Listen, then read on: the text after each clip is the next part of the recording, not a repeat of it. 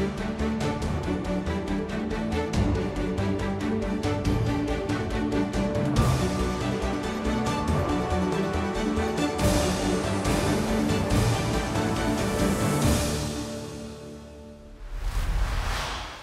Abban nőttünk föl, hogy Magyarország agrárország, amelyik nem egy, hanem akár több magyarországi népességet is el tud tartani. Ehhez képest most ott tartunk, hogy az Európai Unióban az élelmiszerárak emelkedése Magyarországon a legnagyobb. Üdvözlöm Önöket a mai témában, erről fogunk majd beszélgetni. Az előttünk álló 50 percben vendégeim Benedek Szilveszter, a DK árnyékminisztere, agrárminisztere, Már András a mezőgazdasági szövetkezők és termelők országos szövetségének főtitkár helyettese és Raskó György agrárközgazdász. Uraim, köszönöm szépen, hogy itt vannak nálunk. Jó estét kívánok!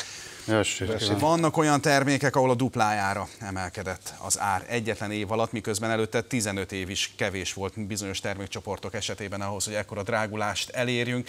És bár azt olvassuk a himnuszban, hogy értünk kunság mezein, ért kalászt lengettél, ehhez képest most ott tartunk, hogy évtizedek óta nem volt arra példa, hogy például kukoricából behozatalra szorultunk volna.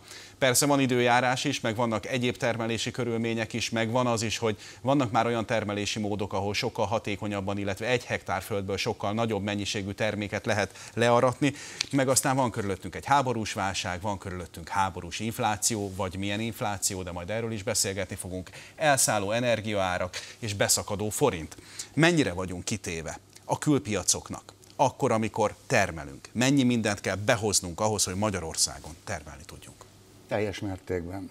Gyakorlatilag a magyar mezőgazdaság eh, termelési költségének az öme az gyakorlatilag eh, eh, importfüggő, illetve import árfüggő.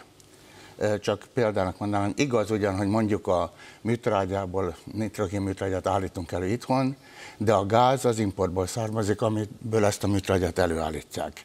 A gépek döntő része az importból származik, a, műt, a növényvédőszerek zöme importból származik, és sorolhatnám tovább ezeket a tételeket. A földön kívül mi a miénk, akkor, amikor magyar mezőgazdaságról beszélünk? Betűmag. A tudás és a, és a technológia bár az is jól rámutat arra, amit András is felvezetett, hogy a mezőgazdaság egy teljes egészében globális piac. Hiszen az alapanyagok importja mellett a piac is globális, a nemzetközi tőzsdéktől függ, tehát nyilvánvaló, hogy a, az idei asszály az Magyarországon részben egy hiányt is, főleg a kukoricában, de egyéb, egyéb gabonafélékben is okozott, de alapvetően egy globális trend az élelmiszer áremelkedés. Globális trend, de itt a mi kunságunk mezein leng az ért kalász, és a mi asztalunkra kerül belőle a kenyér. Ebben az esetben sincsen semmilyen lokalitás a dologban? Hát igazából nincsen. Először is Magyarország része az Európai Unió gazdasági közösségének, ahol nyitott piacok vannak, import és export is szabadon áramolat 27 ország között, és emellett vannak olyan társult országok, akikkel, amelyekkel szabadkereskedelmi megállapodás van, tehát azt lehet mondani, hogy az, ami szükséglet Magyarországon bármiféle élelmiszerből, mezőgazdasági nyersanyagból, az beszerezhető belföldön, ha éppen ott az nem áll rendelkezésre, minden további nélkül akadálymentesen környező országokból, vagy akár messzebbről is megvásárolható. És nagyon lényeges dolog, hogy Magyarországnak azért még mindig pozitív az agrár kereskedelmi szaldója, tehát jóval, többet viszünk ki, mint amennyit behozunk. Jóval többet eladunk, mint amit belföldi piacon értékesítünk, és ez a mostani állapotban, amikor 8 alapvető élelmiszerre árbefagyasztás van, ez iszonyú veszélyes játék a kormány részéről, hiszen hiába csökken a belföldi kereslet, tehát látható statisztikai adatok mutatják, hogy az élelmiszerfogyasztás volumene csökken Magyarországon, a vásárlóerő szűkös volt miatt. Ezek a termékek minden további nélkül exportra eladhatók, és hogyha a kormány a forint mesterséges leértékelésével még ösztönzi is azt, hogy a magyar vállalkozók külföldön adjanak el, akkor annak az a következménye, hogy egyre több mezőgazdasági nyersanyag és élelmiszer külföldi piacokra kerül. A... Szeretnék egy dolgot leszögezni a legelején. Az asszály miatt az, élelmiszer, az asszálynak az élelmiszer árakra gyakorlatilag minimális a befolyása. Eddig azt gondoltuk volna, kevesebb terem, ami marad, az sokkal többe kerül. Elméletileg ez igaz, gyakorlatilag viszont azt lehet látni, hogy a magyar mezőgazdasági termékek döntő része, ez alól néhány zöldséggyümölcsféle a kivétel, az világpiaci áron, illetve az alatt van. Csak példákat szeretnék mondani.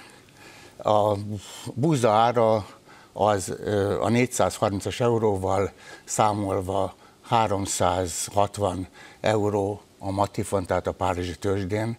Ez több, mint a magyarországi fölvásárlási ár.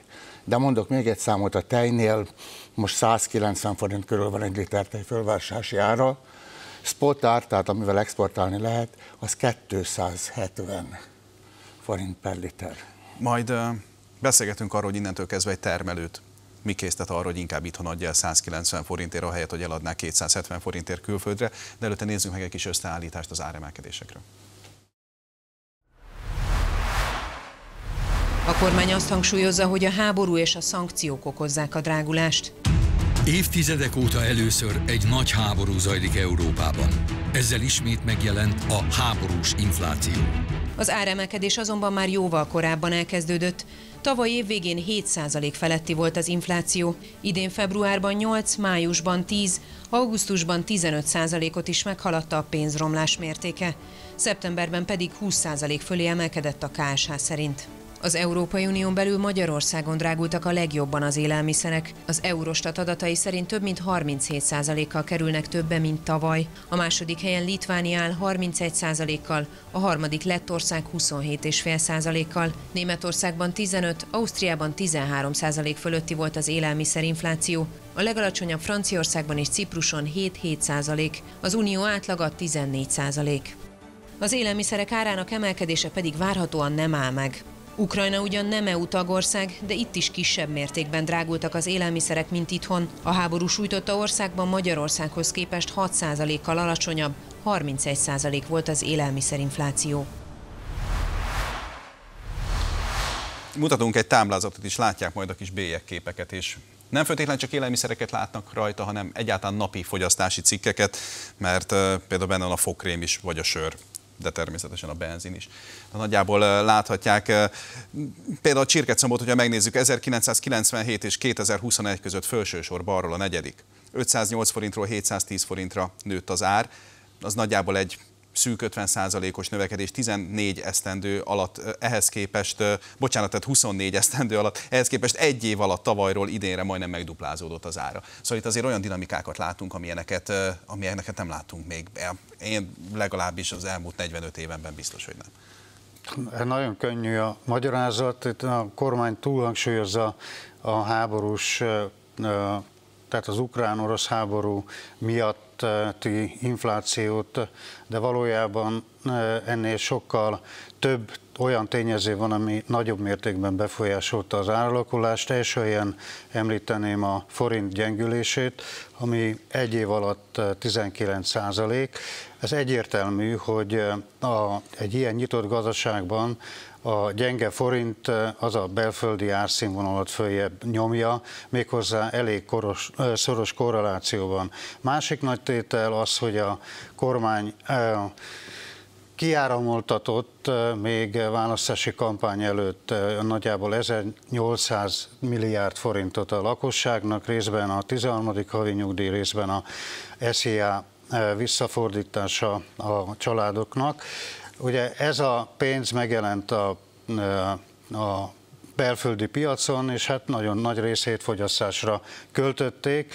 Abban az időszakban, amikor elindult már jóval korábban az áremelés, és ez a kereskedő az elég okos arra, hogyha látja azt, hogy sok pénz van a lakosságnál, akkor bátrabban emeli az árakat. Ehhez hozzájött a, a büntetőadó, amit a kiskereskedelemre kiszabtak. Úgy érezték a kereskedők, hogy nekünk joguk van ezt a büntető adót áthárítani a fogyasztókra, más termékekre ráterhelték, például azokat a veszteségeket, ami az ársapka miatt keletkezett nyolc alapvető élelmiszernél, és hát sorolhatnám tovább.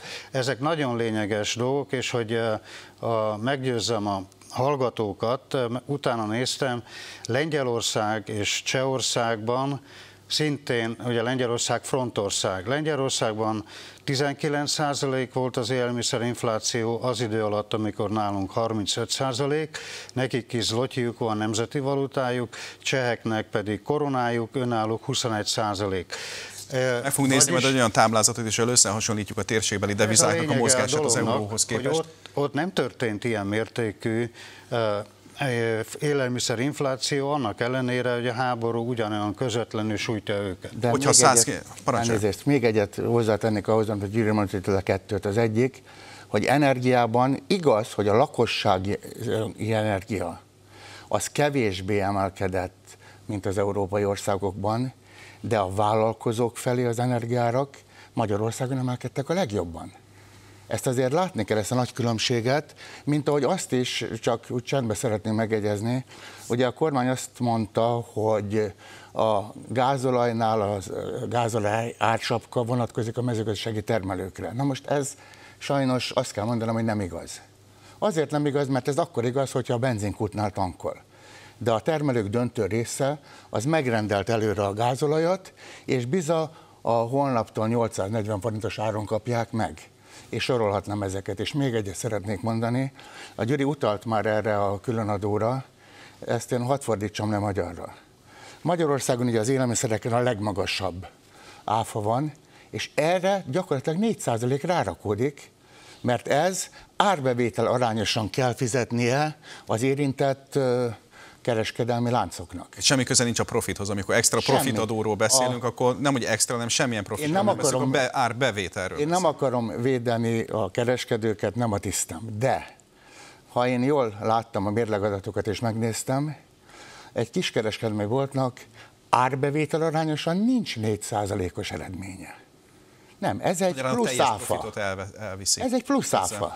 A, a magyar mezőgazdaságon belül melyek azok a termékek, vagy melyik az a termékkör, hogyha leszűkíthető ennyire a dolog, amely valamelyes meg tudja óvni a saját termelési költségeit attól, hogy mi minden villámok csapkodnak körülöttünk? Valójában egyik sem a magyar mezőgazdaságban az állattenyésztés és a feldolgozóipar súlya az elmúlt 30 évben folyamatosan csökken, sajnos jelen időben is mondhatjuk, hiszen az idei év után még további csökkenés várható. Egy oldalon a növénytermesztés hangsúlyos a magyar mezőgazdaság, ami egy exportorientált termesztés jelent. Következésképpen a növénytermesztő gazdának nyilvánvalóan az az érdeke, hogy a legmagasabb áron értékesítse az általa megtermelt outputot, és innentől egy olyan védőernyő, ami a hazai élelmezés biztonságba való beáramlását jelenteni egy alacsonyabb áron ezeknek az áruknak nincs. Tehát ugye jól értem, teljesen, teljesen akkor adja el itthon, hogyha az nem kevesebb, mint amennyire külföldön. Igen, és máshogy fogalmaznék, még egyértelműben odaadja el, ahol a magasabb árat kapja. Ez igaz a növénytermesztésre, de igaz az elsőleges állati termékekre, legyen az tej vagy hús. Magyarán a magyar fogyasztó versenyez a Magyarországon megtermelt élelmiszerért. Ebben én egy picit vitatkoznék, és csak bocsánat, általában egy, egy olcsóban adjuk el. Általában a magyar felvásárlási árak alatta vannak a nemzetközi áraknak. Tehát még csak az sem... Ott vannak a piacra jutásnak a költségei is, tehát a végeredményben lehet, hogy még jobban is jár akkor így egy termelő? Nem, nem, nem jár jobban.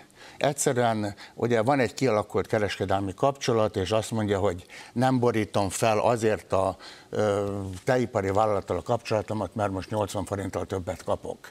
Azt mondja, hogy kérem szépen tudomásul veszem, hogy 130-ért veszik tőlem a búzát, holott mondjuk, hogy eladná a Párizsi tőzsdén, akkor kapna érte 160 ezer forintot. Benedek Szilveszterbe picit belefolytottam a szót. Igen, akkor rögtön, rögtön hagy, hagy, hagy reagáljak erre azért, hogy egy ilyen helyzetben, amikor műtrágyát is alig lehet kapni, és 405 ezer forint tonnája annak a műtrágyának, ami egy éve 260 ezer forint volt, két éve pedig 60-70 ezer forint, akkor egyre több olyan termelő van, aki a 80 forint plusz tejáj, árért, vagy a tonnánkénti akár plusz 10 forintos gabonár többletért felborít meglévő piacokat is. Jelenleg is azt látjuk, hogy hiába van továbbra is érvényben egy olyan kormányintézkedés, ami a kommunikáció szintjén export tilalmat jelentene. Külön Val- róla beszélni. Valójában ugye jogilag ez egy elővásárlás joga az államnak, az állam nem él vele, hogy milyen okból nem tartja szükségesnek, pénze nincs rá, ezeken, ezeken Külön ki fogunk rátérni hosszabban is.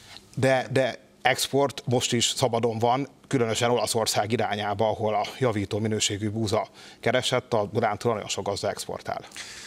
Kíváncsiak vagyunk arra, hogy annak ellenére, hogy például a világpiacról kiesett vagy korlátozottan van jelen az orosz és az ukrán gabona, így például a magyar termelők, ha gondban vannak, akkor miért vannak gondban? Hiszen halljuk azt, hogy akár jó áron is el tudják adni a termékeiket, vagy hogyha ők jó áron el tudják adni a termékeiket, akkor majd mi leszünk gondban, akik bemegyünk a pékhez, és nem sokára 1000 forintba fog kerülni egy kiló kenyér. Nem akarom rémizgetni önöket, úgyhogy a szünet alatt egy picit pihenjék ki magunkat, aztán utána várjuk önöket tovább. Köszöntöm azokat, akik most csatlakoznak hozzánk, meg azokat is, akikkel együtt folytatjuk ezt a beszélgetést. Ma este Benedek Szilveszterrel, a DK Árnyék agrárminiszterével, Már Andrással, a Mezőgazdasági Szövetkezők és Termelők Országos Szövetségének főtitkár helyettesével, és Raskó György agrárközgazdásszal. A műsor első felében elhangzott, hogy bármennyire is vagyunk agrárország, bármennyire is több magyarországnyi embert is el tudnánk tartani mindazzal, ami itt a földjeinken megterem. A helyzet az, hogy minden, ami kell a termelés, az az külföldről jön.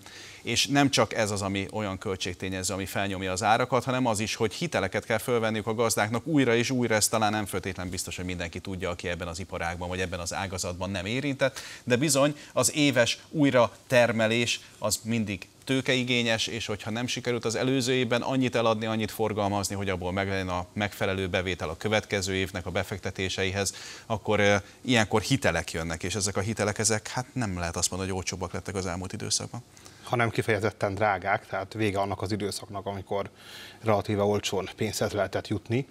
A jelenlegi alapkamat az előrevetítő, hogy itt hamarosan 20%-os kamatok lesznek, 15% alatt hitelkamat alatt már nem lehet pénzhez jutni. Nyilvánvalóan és kitermelhetetlen. Tehát ez... És az árfolyam ingadozás. Az összes alapanyag az euróban jön, vagy euróhoz kötött ára jön és 430-as euróval ez hatalmas áremelkedés. Ugye ez egy nagyjából alaptétel a közgazdaságtanban, főleg, hogyha az agrárszektorra vonatkoztatjuk, hogy az alapanyagokon elért haszon, az mindig sokkal kisebb, mint a feldolgozott termékeken elérhető haszon.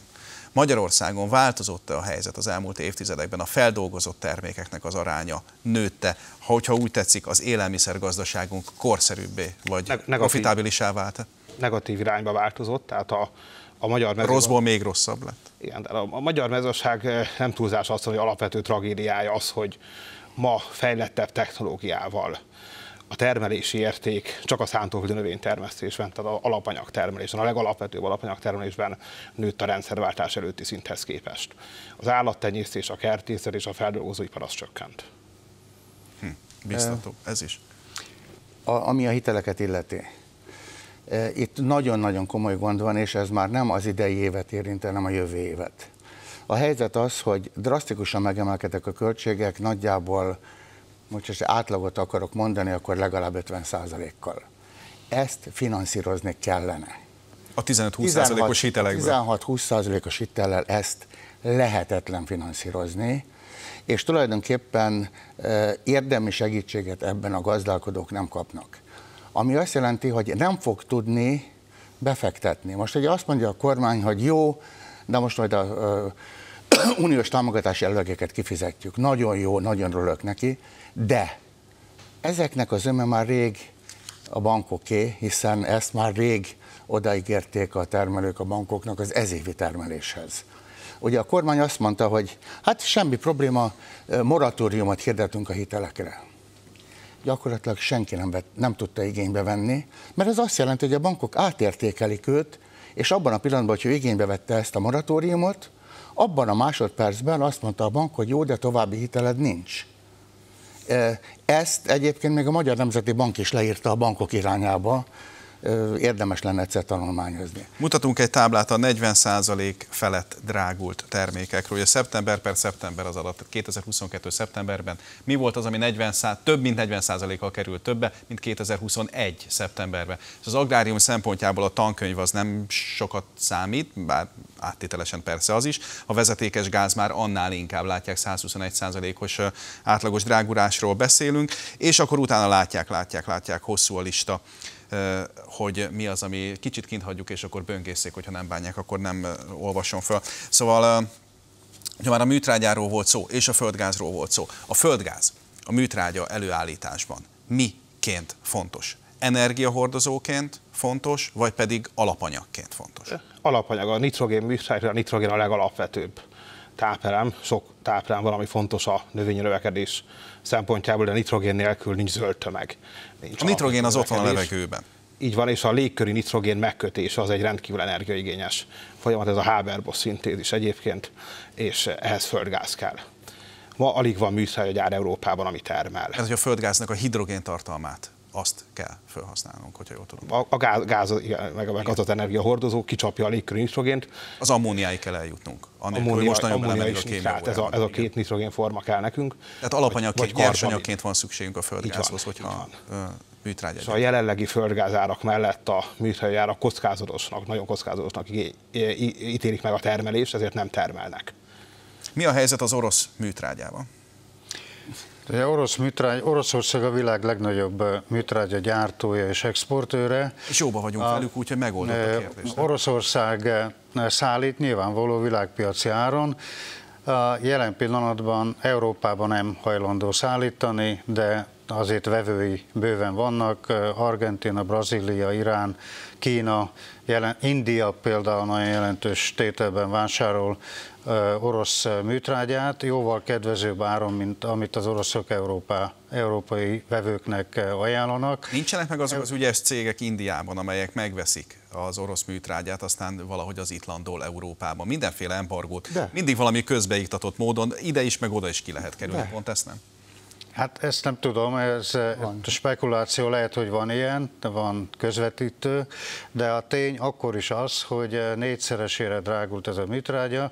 Nekem, mint termelőnek ez lefordítva annyit jelent, hogy hektáronként, például buza esetében a műtrágya költségem, ha ugyanazt a mennyiségű műtrágyát használom, mint normál években, ez plusz 200 ezer forint hektáronként. Ez majdnem annyi, mint ami korábban a a buza teljes termelési költsége volt. Tehát csak a növekmény. Csak a annyi. növekmény.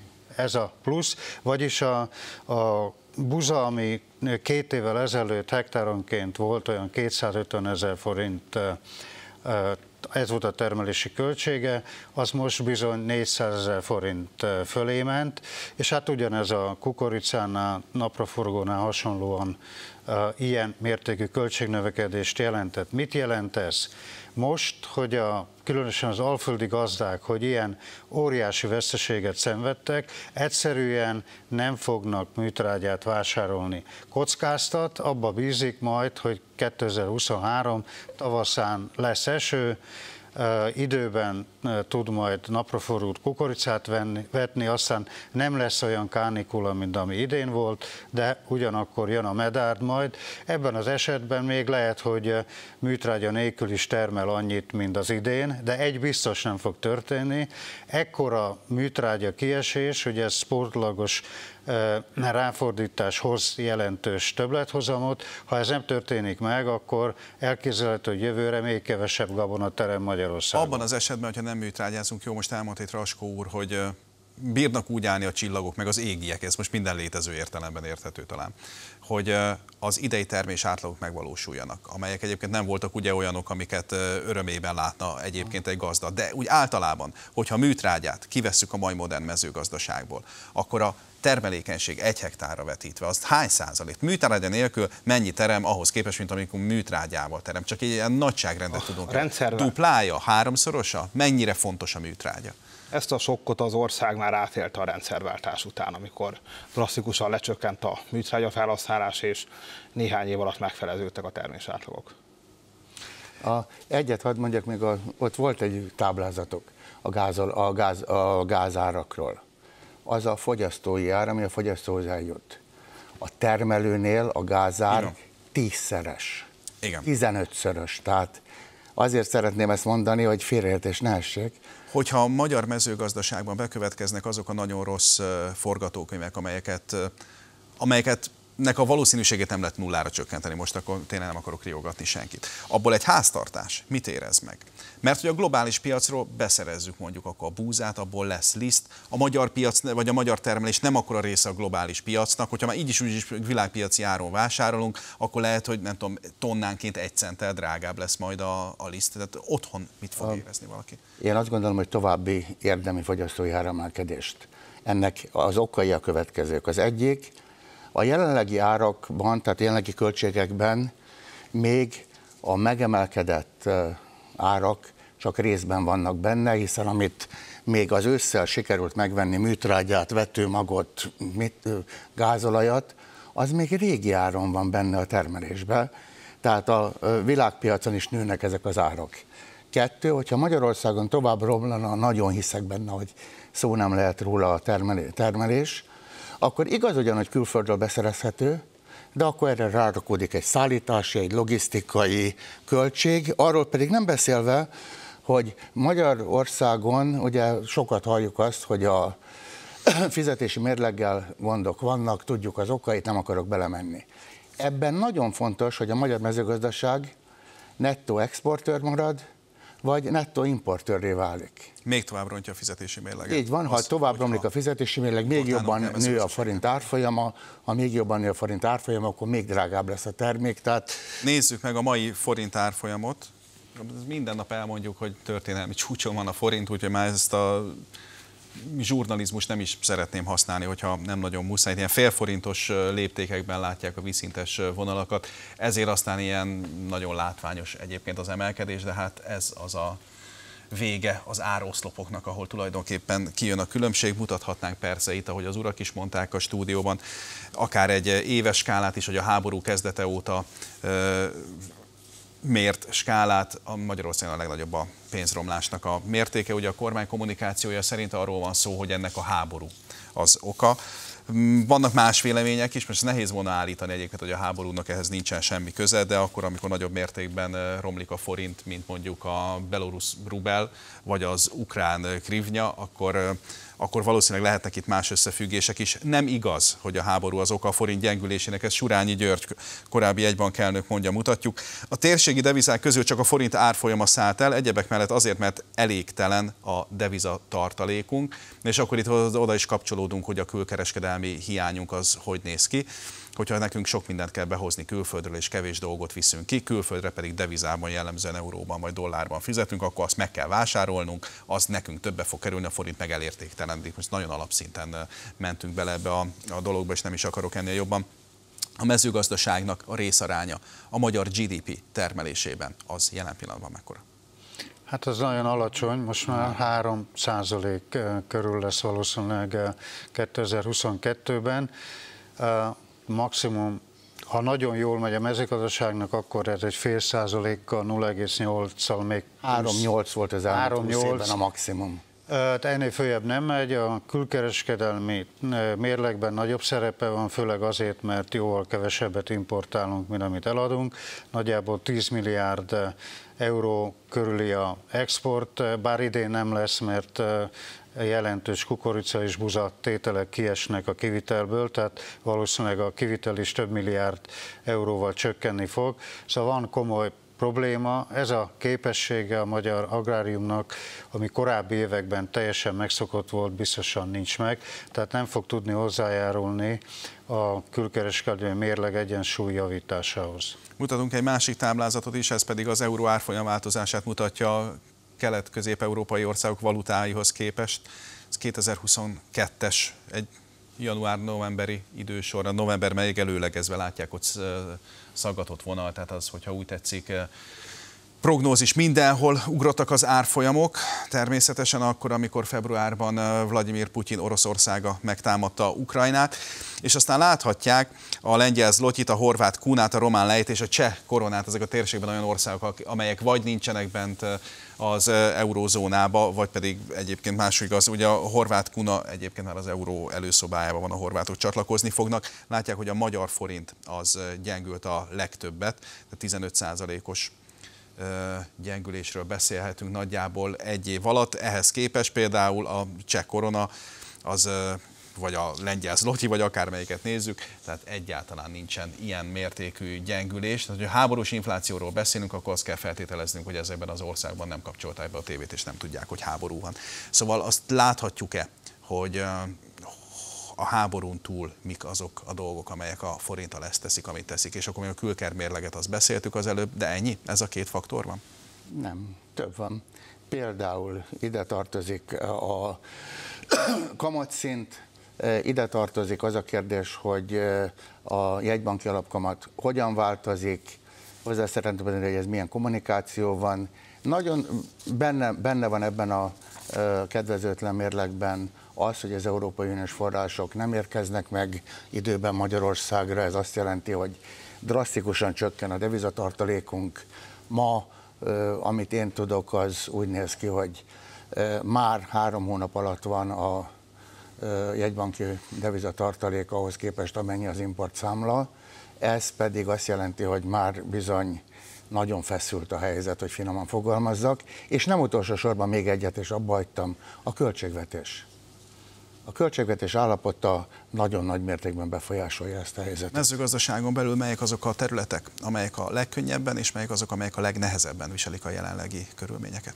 Egyértelműen az állattenyésztés viseli a legnehezebben, hiszen az idei asszály, azaz állattenyésztés tömegtakarmány bázisát, itt gondolok a tejelő természetek számára szükséges silókoricára, azt megtizedelte, és általában drágította a takarmány költségeket. Tehát azért is mondtam a tömegtakarmányok, mert az jellemzően az a takarmányt a gazdaság saját maga termel meg, nagyon magas szállítási költség rakódik rá, hogyha messzebbről kell hozni. Az idejében ezt látjuk, de az ablaktakarmányok megvásárlása, az ugyanúgy, tehát hiába emelkedtek az állattenyésztési termékek árai is, felvásárlási árai, sokkal ö, nagyobb az alapanyagok, tehát takarmányok áremelkedése, és energiaintenzív folyamatos az állattenyésztés, fűteni kell, szellőztetni kell az istálókat, ö, ez is sújtja.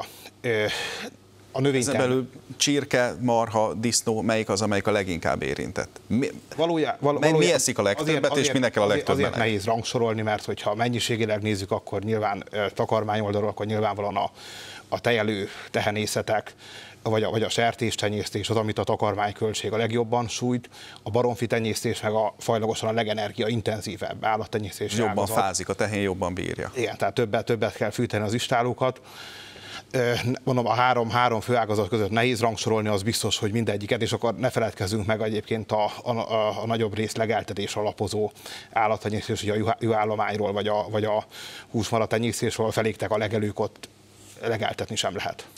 Egy... Munkaerő hiány vagy munkanélküliség? Mi az, ami jellemzőbb a mezőgazdaságra? Hát mezőgazdaságban óriási munkaerő hiány van, tehát egy biztos, hogy ez a mostani válság munkanélküliségi problémát mezőgazdaságban nem fog okozni. Sajnos kertészeti... Bocsánat, jelentheti ez azt, hogy az mezőgazdaság az máshol képződő munkanélküliséget fel tudja szívni? Hát az a probléma, hogy nehezen, ugyanis ma már a mezőgazdaságban már nem betonított meg napszámosokra van szükség, hanem olyanokra, akik azt a a high-tech, tehát azt a magas technológiát eh, tudják gépeket, eh, berendezéseket működtetni, amelyhez nagyon komoly informatikai tudás eh, és egyéb mezőgazdasági ismeretek szükségesek, például egy szakosított sertéstelepen vagy tenyészeti telepen, ott nem lehet betanított és időszaki munkásokkal dolgozni, tehát ne, ezt a réteget biztos, hogy nem tudja felszívni a mezőgazdaság. A a mezőgazdaságban most egy olyan elképesztő innovációs folyamat játszódik le, egy valóságos agrár technológiai forradalom, amiben csak azok tudnak részt venni, akiknek ez a képessége, alaptudása megvan. Tehát ezt mondhatom sajnálattal, hogy a mezőgazdaság munkaerőhiányát ez a mostani esetleges eh, nagy munkanélküli sereg biztos, hogy nem fogja megoldani. A nagyjá, vagy a, nem is azt mondom, hogy piac nélküli, de valamilyen formában mégiscsak korlátozott módon piaci körülmények között eh, működő állattenyésztés, aminek hagyományai voltak Magyarországon. Az, hogy minden falusi portán, tartottak, fölneveltek, karácsonyra levágtak egy-két disznót, meg egyébként is ott volt a baromfi udvar. Hogy néz ki most a magyar falu? Üres, üres. Már a munka nélküliséget, a munkaerő hiány kapcsán is kell látnunk egy társadalmi problémát, hogy minden kormány kommunikációval ellentétben ellenkezőleg az elmúlt évtizedben a magyar falu és a magyar kisváros elléptelenedése folytatódik a porták pedig üresek. Ugye pont a Orbán kormánynak volt egy ilyen programja, hogy egy porta, egy koca. Lemegyünk abba bele, hogy ez mennyire lehetett volna reális a mai körülmények között, de ott tartunk, hogy több hobbiból tartott kutya van az országban, mint sertés. Egyet még a munkanélküliséghez, tehát amit a Gyuri mondott, 100% igaz. Viszont van a mezőgazdaságban egy másik réteg, ezt, ha úgy tetszik, kistermelő vagy önfoglalkoztató kör, én azt gondolom, hogy ez a kör viszont nagyon nagy bajba fog kerülni, ő viszont a falusi munkanélküliséget fogja jelentősen szaporítani. Tehát miközben tényleg a, professzionális, a, vidéki a professzionális mezőgazdaság, mezőgazdasági termelőből hiány van, tehát egy jó traktoros ma már, Meg aki talál, vagy egy állattenyésztőt, vagy, de mondhatnám bármelyik ágát, egy informatikust, aki képes működtetni a mm, tehenészeti telepnek a, a rendszerét, azt lasszóval se lehet találni. Viszont én attól tartok, hogy eh, nagyon sok kisgazdaság, amelyik eh, most még úgy, ahogy megélt, a jelenlegi szituációban, hogyha érdemi segítséget nem kap, fejre fog állni, és ő viszont a munkanélküli sereget fogja növelni. Hát pontosabban befejezi a mezőgazdasági Befejezi a mezőgazdasági tevékenységét, pontosan. Ha a munkanélküliségről beszéltünk, nézzük is.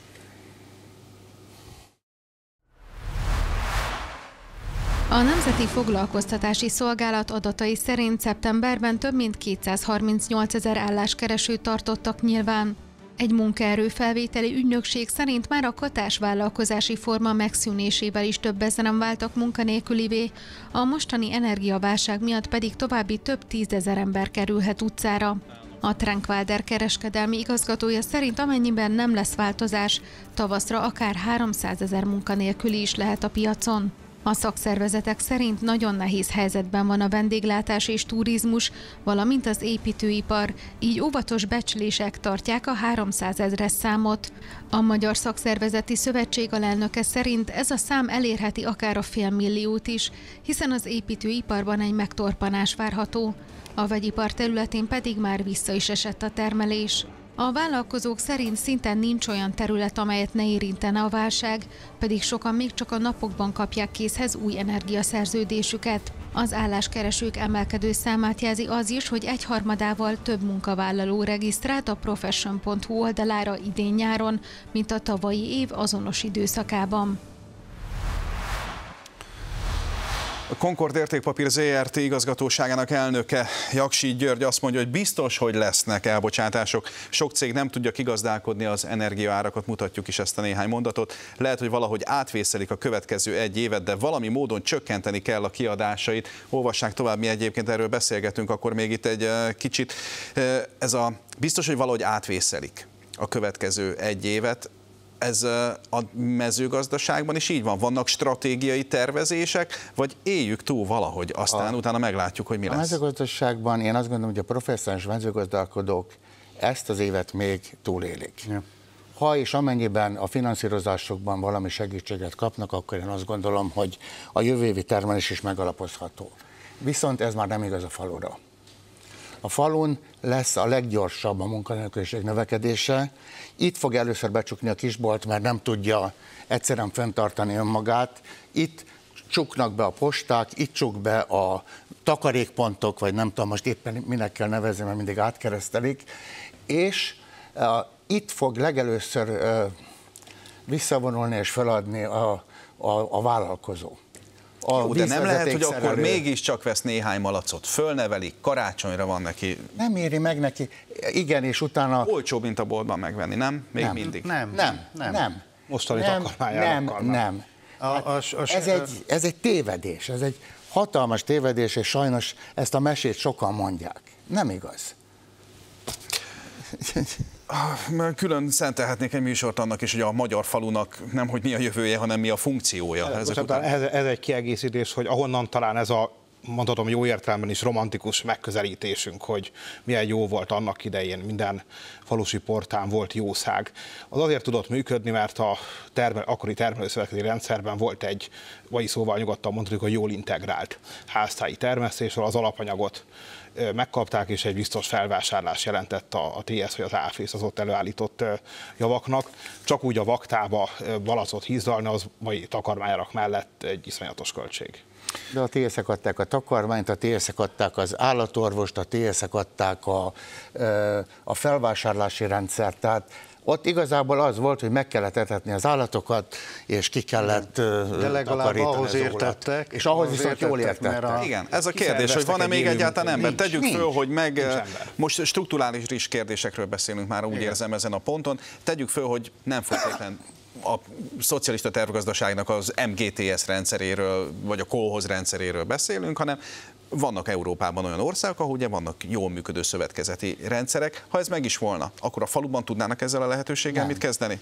Nem, állategészségügyi feltételek vannak. Már egészen az más, nem engedi. Egészen más a... játékszabályok vannak. Igen. Az önkormányzat nem engedi meg, mert büdös az állategészségi követelménynek nem tud megfelelni. Ma már egy szakosított állattartó telepre az ott dolgozókon kívül az állatorvos mehet be, és a minisztert is hazaküldik, hogy Igen és adnak neki egy videót, hogy így néz ki belőle a telep. Most hígtrágyát, szerves trágyát utolsó dekáig föl kell dolgozni, szigorúan ellenőrzik, tehát gyakorlatilag annyira megváltozott ez alatt a 30 év alatt a magyar falu, hogy egészen biztos, hogy állattenyésztés szinte kizárólag szakosított professzionális telepeken lesz, egészen addig, amíg a zöldek azt legalább engedik, mert hogyha kicsit tovább megyünk, Németország mezőgazdasági miniszterre például azt mondja, hogy Németországban az állattenyésztés drasztikusan le kell építeni,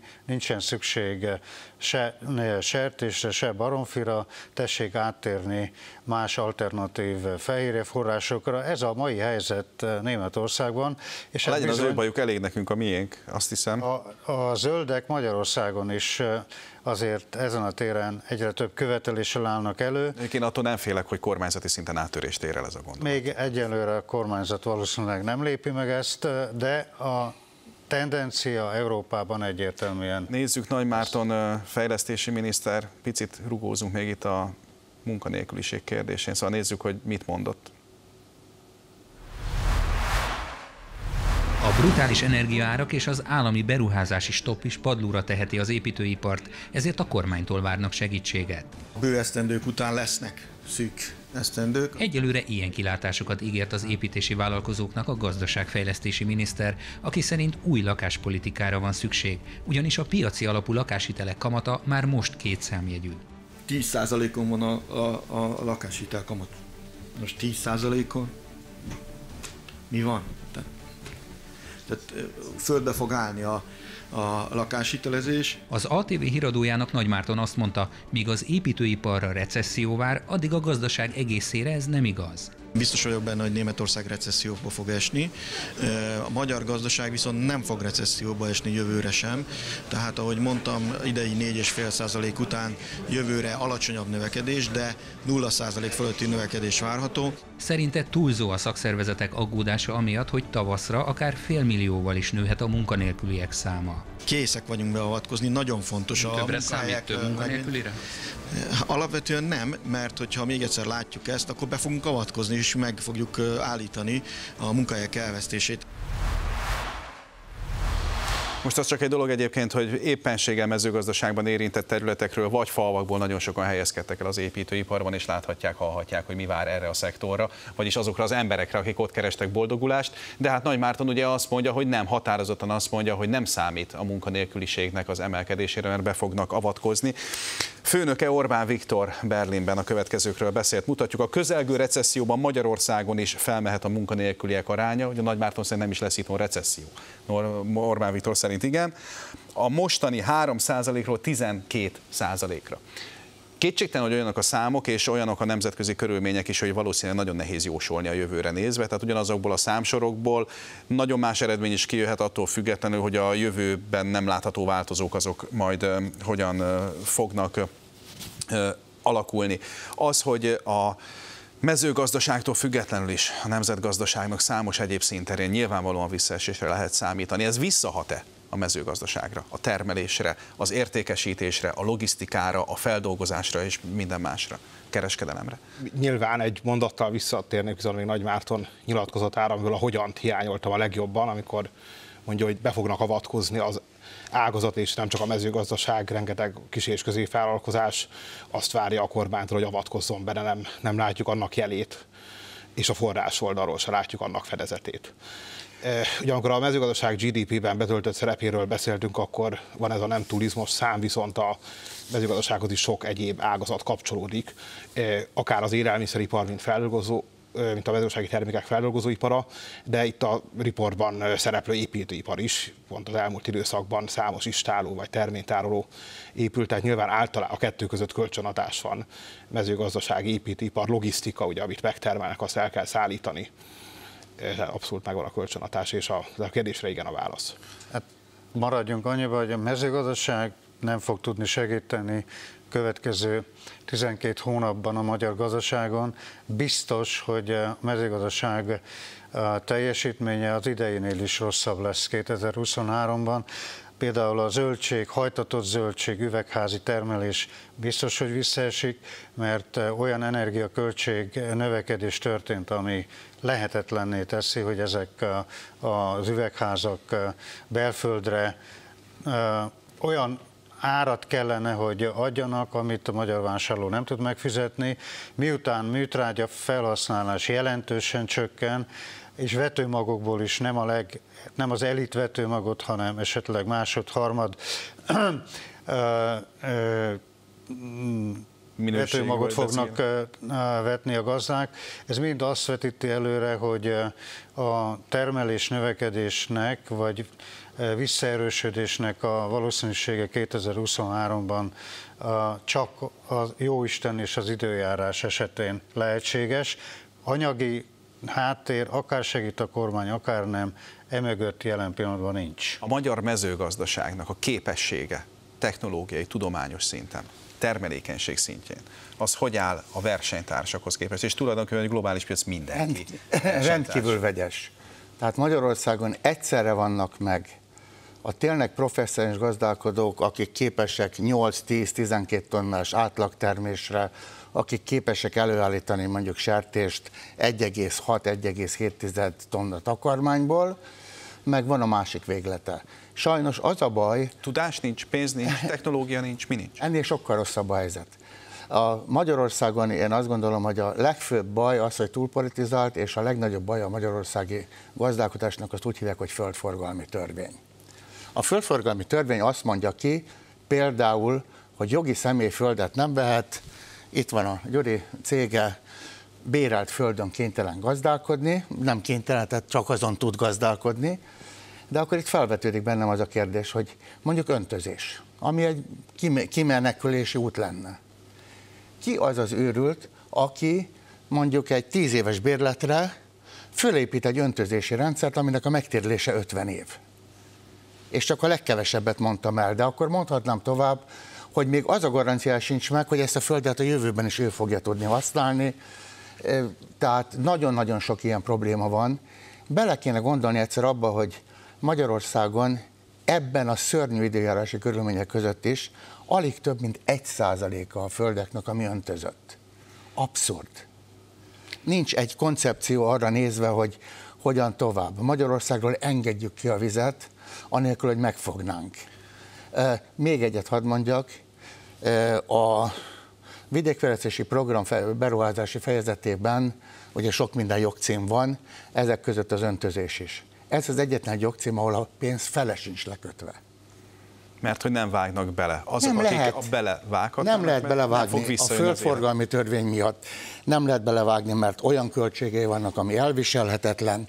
Nem lehet belevágni, mert olyan adminisztrációja van, ami elviselhetetlen. Olyan szabályozása van, hogy mire valaki ezen túljut addigra, szerintem megőrült és abba adja az egész tevékenység. Megint strukturális kérdéseknél vagyunk, hogyha ezek a struktúrák jobban működnének, akkor elképzelhető volna az, hogy Magyarországon például az infláció, az élelmiszerinfláció nem volna a legmagasabb egész Európában? Igen. Hát egészen biztosan. Igen.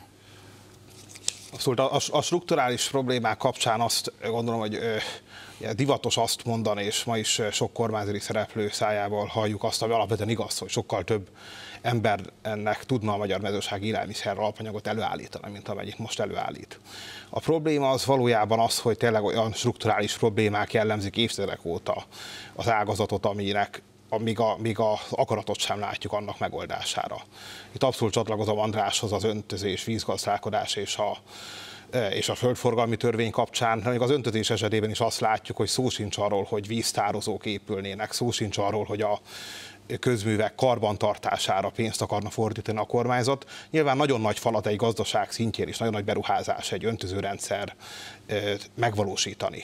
De az olyan értelme van a jéghegy csúcsa kell lennie víztározónak, meg kell lenni azoknak a műtárgyaknak, amik lehetővé teszik a vízgazdálkodást. Megvannak azok a szintjei a mezőgazdaságnak, amelyek egyébként megvannak oly sok országban tőlünk nyugatabbra. Vannak a kis családi gazdálkodások, van a kertészeti módszerekkel, vagy a kertészeti léptékben előállított zöldségtermesztés, vannak a háztáinál nagyobb, de kisüzeminek mondható állattenyésztések, akár a legeltetés, aztán ott vannak persze a szuper nagyok is és a szuper hatékonyak amelyek egyébként szociálpolitikai munkaerőpiaci, kulturális, regionális megtartó szerepet tekintve sok minden mást is tudnak, mint pusztán az, hogy legyen étel a boltban. Hát kezdjük azzal, hogy a magyar mezőgazdaságban ezek a szereplők ott vannak, nagyon erős családi gazdasági közösség van, tehát ezt a kormány 12 éve, de még korábban 4 éven át preferálja, a, az a probléma, hogy a családi gazdaságok annyira kényeztetett helyzetben vannak, jogi támogatás, adózás, például az, hogy 80 millió forint árbevételig egy négy tagú családi gazdaság mindössze összes közterhe, amit fizet, az 600 ezer forint egy évben. Tehát valóban nagyon nagy kedvezményeket adott a kormány ennek a vállalkozói rétegnek, de ez a vállalkozói réteg sajnálatos módon szinte ma már csak eh, nagyüzemi növénytermeléssel foglalkozik, buzát, kukoricát, napraforgót termel, állattenyésztés nem érdekli, mert akkor szombat-vasárnap is dolgozni kell, tehát eh, de jogilag a földtörvény és a földhasználatban olyan preferenciát kapnak, amivel a professzionális vállalkozások pontosan a törvény miatt eh, nem tudnak versenyezni. Nagyon röviden, fél-fél perc már András Benedek Két mondatot. Az egyik, amit a Gyuri mondott, abszolút egyetértek vele, amit látni kell, hogy a Magyarországon működő mezőgazdasági termelők döntő része, beleértve a jogi személyeket, az kis és középvállalkozásnak minősül. Tehát itt nem arról van szó, hogy latifundiumok állnak szembe vele, állami latifundiumok vannak, meg ebbe most nem menjünk bele. A másik, csak egy nagyon rövid megjegyzés az öntözéshez visszatérve.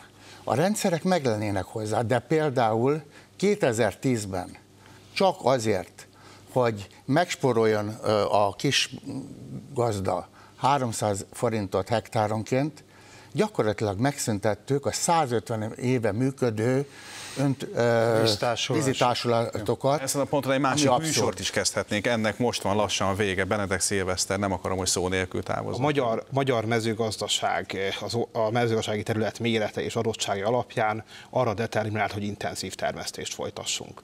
Ezzel lehet a mezőgazdaság, az ország, a falu, a vidék sikeres, és az elmúlt 30 év agrárpolitikájából pont az hiányzik, hogy nem a nagy értékhozaadást és így vidéki embereknek munkahelyet adó ágazatait fejlesztettük. Sok kérdésre választ kaptunk be, valahogy bennem több keletkezett, mint amennyit végeredményben sikerült föltenni, és biztos, hogy folytatni fogjuk még ezt a témát, mert termelni kell, meg enni is kell, meg hát fizetni is kell érte. Benedek Szilveszternek, Már Andrásnak és Raskó Györgynek köszönöm szépen a beszélgetést, önöknek pedig a késő estig tartó figyelmet. Jó éjszakát, vigyázzanak magukra! Köszönjük szépen!